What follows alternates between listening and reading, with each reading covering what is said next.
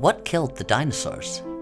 Not the extinction event that eliminated them entirely, but the tiny insults and injuries that took down each massive beast?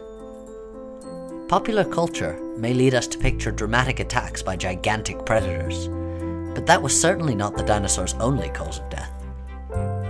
Just like the creatures alive today, dinosaurs suffered from diseases like cancer, arthritis, infections, and even congenital abnormalities. When you picture a paleontologist, you may picture someone like this. In fact, many modern paleontologists look a lot more like this. These scientists use many of the same techniques that are common in research and medical laboratories. Mary Higby Schweitzer practices molecular paleontology, the study of ancient molecules.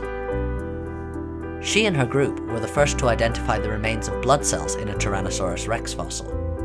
They later discovered evidence of other soft tissues and even the possible presence of biomolecules like DNA. This evidence offers hope that lipids and proteins may persist in fossils, and that we might one day be able to recover them and learn more about modern biomolecules' origins and functions.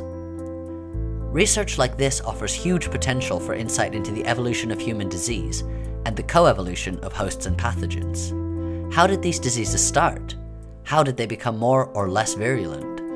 It also helps us to understand the molecular makeup of healthy tissues, how they can become damaged, and how they can be preserved.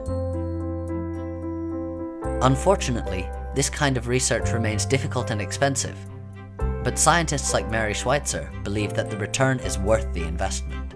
Hopefully, with a little interdisciplinary cooperation, both ancient life scientists and modern medical researchers can use paleopathology to gain new insights into the nature of health and disease.